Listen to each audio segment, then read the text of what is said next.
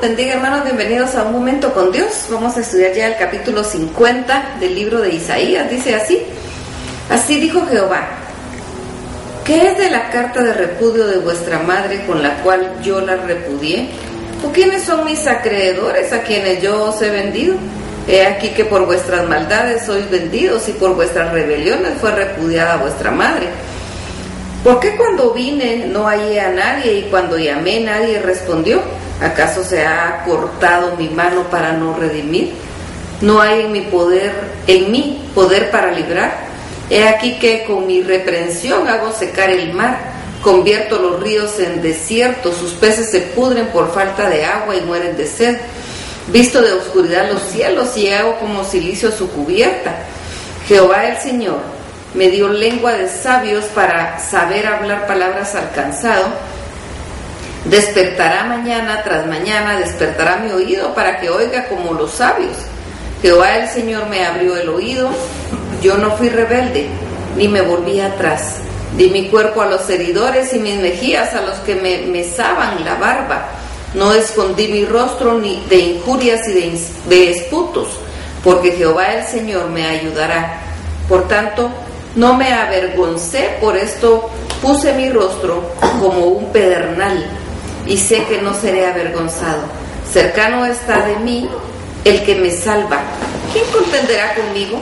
Juntémonos. ¿Quién es el adversario de mi causa? Acérquese a mí. He aquí que Jehová el Señor me ayudará. ¿Quién hay que me condene? He aquí de todos ellos se envejecerán como ropa de vestir, serán comidos por la polía. ¿Quién hay entre vosotros que teme a Jehová y oye la voz de su siervo? El que anda en tinieblas y carece de luz, confíe en el nombre de Jehová y apóyese en su Dios. He aquí que todos vosotros encendéis fuego y os rodeáis de teas. Andad a la luz de vuestro fuego y de las teas que encendisteis, de mi mano os vendrá esto. En dolor seréis sepultados. Bien, este pasaje es un pasaje que nos está hablando de la ayuda que Dios nos da en momento de aflicción, pero nos está diciendo que eso viene si nosotros la queremos aceptar. Si nosotros no queremos aceptar su ayuda, pues no vendrá. Y entonces nos tocará andar solo. Dice el verso 8, cercano está de mí el que me salva. ¿Quién contenderá conmigo? ¿Quién es el adversario de mi causa? Acérquese a mí. He aquí que Jehová el Señor me ayudará. ¿Quién hay que me condene? He aquí que todos ellos se envejecerán como ropa de vestir, serán comidos por la polía. Pero me encanta el 9. He aquí que Jehová el Señor me ayudará. Tenemos nosotros esa confianza del profeta al decir que es Él el que nos ayuda. Dice el verso 10, ¿quién hay entre vosotros que teme a Jehová y oye la voz de su siervo? El que anda en tinieblas y carece de luz, confíe en el nombre de Jehová y apóyese en su Dios. Y luego el otro dice, he aquí que todos vosotros encendéis fuegos y os rodeáis de teas. Andad a la luz de vuestro fuego y en las teas que encendisteis. De mi mano vendrá esto. En dolor seréis sepultados la luz por la cual nosotros andamos. Dice aquí vosotros encendéis teas para poder, como una antorcha, para poder alumbrar vuestro camino. Eso es cuando nosotros queremos ir por nuestra propia cuenta. O estamos nosotros tomados de la mano de Dios y que Él sea nuestra luz. La ayuda viene de Dios, la queremos. ¿Aceptamos nosotros su ayuda o no la aceptamos? Simplemente la desechamos.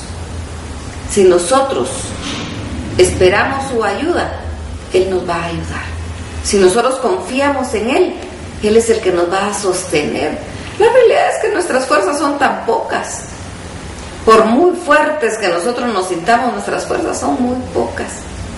Fácilmente nos debilitamos. Entonces, ¿para qué confiamos en nuestras fuerzas? Si podemos confiar en el Todopoderoso. Dice el verso 2 al, final, ¿a ¿Acaso se ha cortado mi mano para no redimir? ¿No hay en mi poder para librar? Estas son preguntas que está haciendo. Y no, no se ha cortado la mano de Dios para redimir. Y tampoco podemos decir que el poder de Él ha menguado para librar. Él sigue siendo poderoso y la redención sigue estando en su poder. Así que afiancémonos de Él, confiemos en Él, descansemos en Él y Él hará. Tampoco podemos decir que es fácil descansar en Él. Es difícil. Es difícil porque es dejar de confiar en nosotros mismos y nosotros como que nos sentimos tan absolutos y tan completos, pero no lo somos. Y es precisamente en el momento en que nosotros decimos no puedo y le dejamos a Dios la oportunidad de que Él actúe, hasta entonces Él actúa y entonces vemos nosotros que con Él se podía. Por eso la palabra dice que en nuestra debilidad Él se fortalece. Y también dice que por cuanto, el apóstol Pablo dice, por cuanto nosotros somos débiles, entonces somos fuertes. Que cuando somos débiles, entonces somos fuertes. Porque es cuando nosotros nos damos por vencidos y dejamos a Dios trabajar, entonces viene la fortaleza de lo alto. Porque el brazo de Él, su mano, no ha cambiado y sigue teniendo poder para redimir. Así que depositemos nuestra confianza en Dios. Vamos a platicar con Él, alabarlo, a glorificarlo, a bendecirlo y a darle las gracias. Porque Él es bueno. Porque su misericordia es para siempre. Porque podemos confiar en Él completamente. Alabémoslo, glorifiquémoslo, bendigámoslo con todo nuestro corazón. Que el Señor los bendiga.